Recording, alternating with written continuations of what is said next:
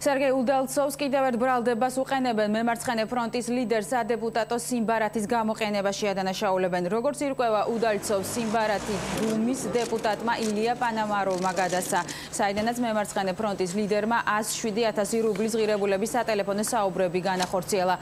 ამის გამო უდელცოვსა და პანამაროვს სოლიდური ჯარიმის გადახდა მოუწევთ. Давай, может быть, быстро ее лидеров от общества, то я могу ожидать самого. Также, в первую очередь, заинтересован.